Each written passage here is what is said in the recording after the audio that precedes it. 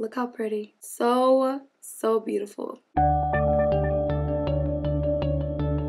Hey guys, welcome back to the channel. If you're new here, my name is Chris and today we are going to dive into the Sodium Fine palette. This is amazing guys. Sorry, I'm already spoiling for you guys. Super happy that it was worth the money. This indie brand is called Makeup Scientist Cosmetics. The palette comes in this box. Now my box arrived just a bit damaged and things like that, which honestly isn't that bad. Like I'm not upset like that. It did come protected. Like she put a bunch of bubble wrap and then she put, she put this little bag it says uh, biohazard specimen bag. It's really cute. She put my receipt in here. Proof that I bought it, guys. And this I absolutely fell in love with when I saw the pictures. It is super creative. It is so well put together. Honestly, you guys, this right here is not cheap. This is solid. The design is absolutely adorable. Let me bring it up close so you can see. Sodium Fine. On the back of this palette, it gives just a little bit of information like it does contain talc. It has a 12 month shelf life once you open it and it is cruelty free. It's magnetic, just like so. Look at these colors. Oh, you guys know I'm a sucker for purple. Now we have two pressed glitters, which is the silver one and that purple one down at the bottom.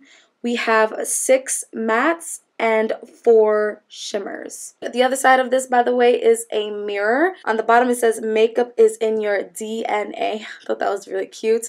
Now, I know it's like this, but I actually have fun holding it like this. I held it just like this, which almost felt like a handheld mirror. I don't know if the owner did this on purpose, but Ooh, this was very smart on her end because I just, it's easy to grip. So let me go ahead and show you guys the pre-recorded swatches. I went ahead and I swatched every single shadow two times. I was waiting for one of the shadows to look kind of nuts when being swatched, but each of them did not disappoint. So going to go ahead and show you guys some swatches now. I use some of these shades, so I don't want to touch them in the swatches because you're going to see them perform. So let me take Eclipse.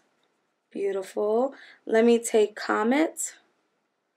Um, let me take Chemical X, this black. And you know what? Let me take Galaxy. This beautiful pressed glitter. Here they are on my fingers. Okay, I'm gonna put them right here. Here we go. That's one. Two. Ooh, keep going with that one. Three Now this is a pressed glitter, so I'm not expecting it to look crazy. That's why I did it twice in the video that you guys saw. Look how pretty.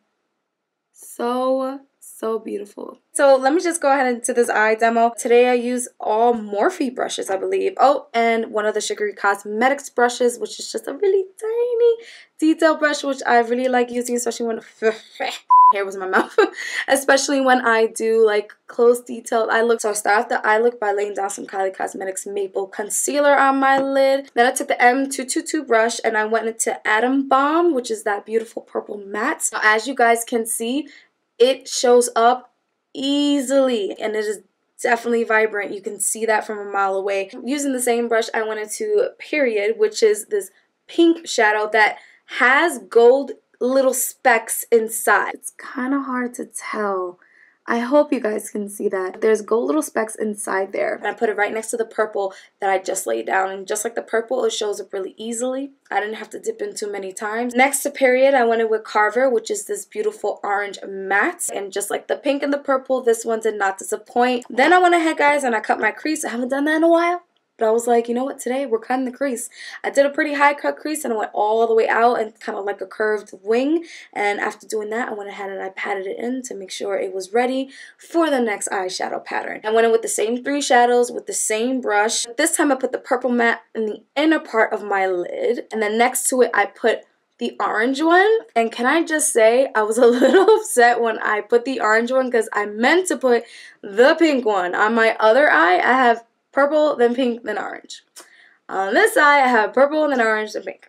I was already knees deep into the orange and I was just like, screw it. That's what's gonna be. I don't even care. You just gotta go with the flow. Then, as some of you might have guessed it, I put the pink one at the end. to clean up my line to make sure it got really close to that cut crease. I did use the tiny brush that I showed you earlier by Sugary Cosmetics. You can use any brush that you prefer to use, but I like to use a small one that's very tapered so that I can get right into that line. For my lower lash line, I went in with the JH39 brush, and I took Atom Bomb, which is that purple, and I ran it from the outer corner of my eye down a little past the middle. After doing that, I went back in with the orange matte and I took that for the rest of the lower lash line. Then I went in with my M507 brush and I went back into the pink and I ran it under both shadows just to kind of soften that line. Next, I took the gold shimmer right in the center, which is AU with, again, this tiny Sugary Cosmetics brush.